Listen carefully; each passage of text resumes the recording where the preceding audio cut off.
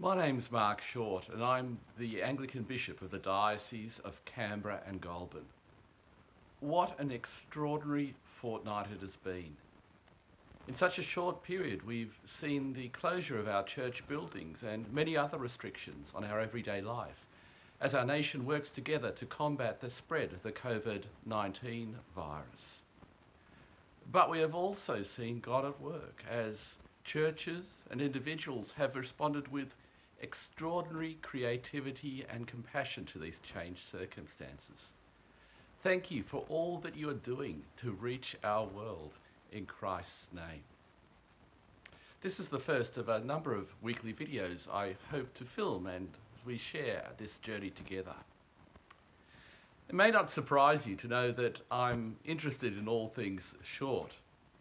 The shortest verse in all of the Bible is John chapter 11, verse 35. In the King James Version, it is just two words Jesus wept. And what a precious two words they are. As he stands at the tomb of Lazarus, Jesus reveals not only his love for his friend, but also his distress at our human predicament. But these are tears of compassion, not tears of impotence. Jesus not only feels for our situation, he has the power to transform it. And he shows that by raising Lazarus from the dead, even though he's been in the tomb for four days.